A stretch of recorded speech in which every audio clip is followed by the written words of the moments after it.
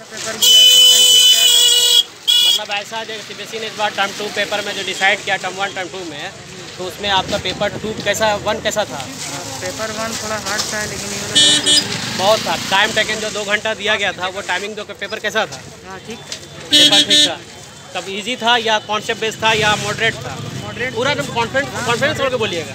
Moderate था बहुत अच्छा क्वेश्चन बहुत अच्छा क्वेश्चन पूछा गया। मतलब उम्मीद करते हैं कि सबको मतलब पास हो जाएगा बहुत अच्छे मार्क्स आने की संभावना है।